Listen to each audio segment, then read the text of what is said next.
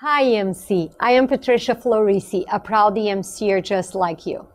In a tribute to Steve Paul Jobs, it is insanely great to be here today, and I hope this video inspires you to think differently.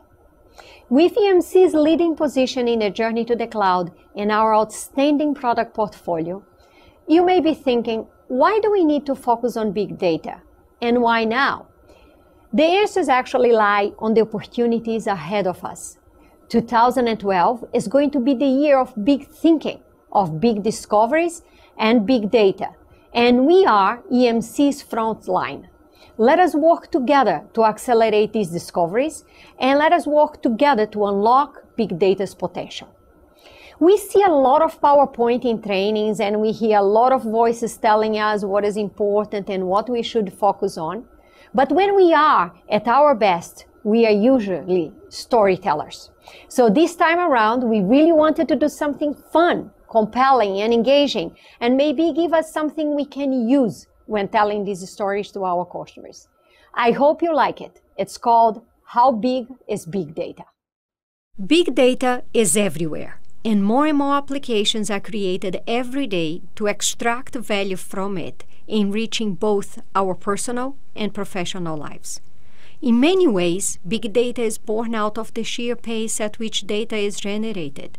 In fact, some analysts expect that by the end of the decade, the amount of data generated will be 50 times the amount of data today. At one hand, this deluge has been greatly accelerated by things like the growth of scientific data Consider, for example, the atomic physics experiments at CERN that can generate 40 terabytes of data every second. On the other hand, this deluge has been led by some very positive social and economical changes in our society. Consider, for example, the rapid adoption of GPS enabled, media rich mobile devices and of social networks that has digitally linked billions of people worldwide. Together, they have enabled a new way of living through spontaneous, instantaneous, and almost constant exchange of data among individuals. These and many more emerging new ways of doing things, of living really, are today generating data that has been loosely classified as big data.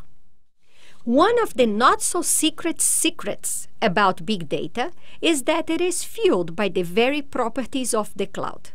In fact, it is the attributes of the cloud, such as economies of scale, affordability to the masses, agility, and extensibility, that enable us to create big data and to tackle its challenges. And in turn, the very big data demands drive future designs, enhancements, and expansions of the cloud, all in a never ending cycle driving both forward. Simply put, Big data challenges expose all of us to the details and limitations of the underlying information infrastructure and pushes users to seek thought leaders and to force them to experiment and move to the next generation of breakthroughs. When that happens, people can solve problems they previously couldn't. They can take on challenges that they previously wouldn't. EMC today finds itself positioned at the intersection of cloud and this avalanche of big data. And because of our unique position in the field, we get asked questions all the time like, how big really is big data?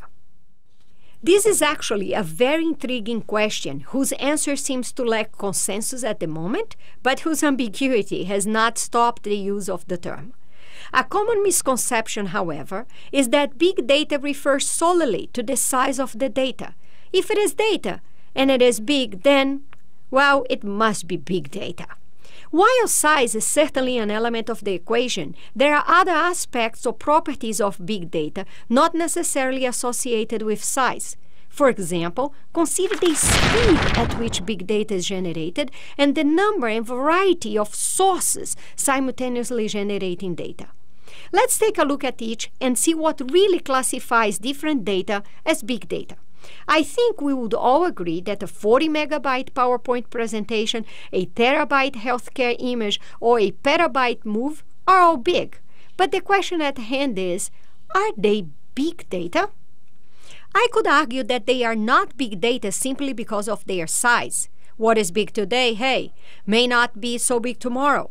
But I would argue that they are big data because each pushes to the limits the common technology available to utilize them. A 40 megabyte PowerPoint presentation is big data when you cannot share it via email with a colleague or customer. A terabyte healthcare image is big data when you cannot simply and accurately display it in a remote screen in real time for a doctor to use in a consultation with a patient. A petabyte movie is big data when you cannot render edits within the time constraints of the business. So that was a good start. We demystified the number one misconception, which is that big data is just about size. As we see, big data is really about any attribute, size being one of them, when it challenges the constraints of a system's capability or business need. But what about the other attributes like the speed at which data is generated or the number and variety of sources that create it that can fit our definition?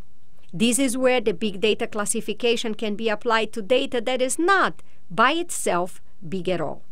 Some of these can get their big data classification based on volume, as they are being created by aggregating many fragments of small data that are somehow related, and the large set of these fragments then define a big data. These volumes can be seen, for example, in the context of the smart meters that are being deployed in every home worldwide that send to the electric companies the energy generated and consumed in a household every 10 to 15 minutes.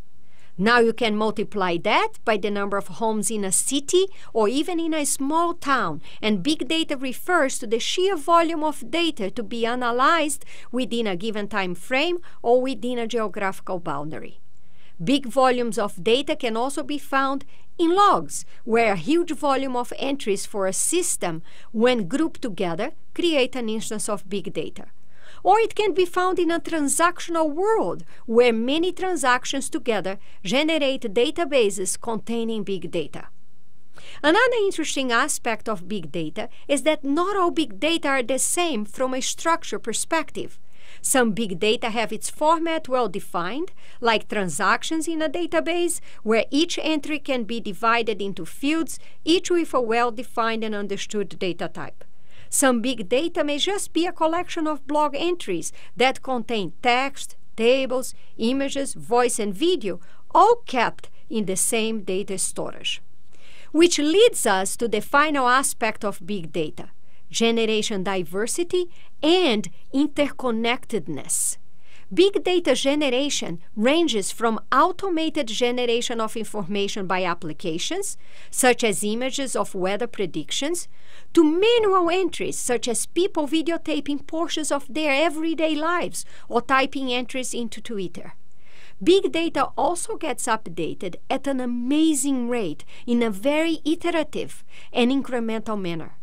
Changes to the data are generated constantly, and the data gets more accurate, more precise as time passes, and more data about the data is created, calculated, or inferred. Despite of the size, speed or source of the data or portions of the data, big data drives the need to make sense out of the chaos. Big data drives the need to find meaning on the data that is constantly changing and to find relationships between the data created. Understanding this interconnectedness and being able to harvest the information hidden in big data unlocks big data's value, which can only be gained by being able to tackle our own big data challenges. Collecting, analyzing, and understanding big data is becoming a differentiated strategy today, but it will become a fact of life tomorrow running analysis at the finest granularities while still having enough data for the results to be meaningful and accurate leads to more precise action and in turn more profits and savings for the company and customers. So when it comes to big data, the question actually is not why should I care about big data, but how can I get closer to big data? And how can I start taking advantage of it now? EMC technologies empower us to get started on the road to unlocking all the value that resides in our own big data. We hope you enjoyed this approach and found this story and animation helpful as we continue to have these exciting discussions with our customers. In reality, big data creates a big opportunity for us as information infrastructure technologies. Unfortunately, for us, there is always a price. The intersection of cloud and big data is forcing us to talk more and more in the language of applications and more and more in the context of the business. This can be overwhelming as we are forced more and more outside of our storage comfort zone. It seems that we now need to know about every application in every expanding universe and understand them all to have a meaningful conversation with the enterprise outside of IT. The good news is that in the case of big data, we actually have a topic of conversation that is application independent to a certain degree, and that at the same time, very relevant to application developers and to business units. We need to get familiar with big data and big data analytics and practice it often as a way of life within the context of our daily activities. We will then be able to talk about our own experiences and draw parallels with our disciplines and relate to our customers. So, hey, think big, think data, think big data.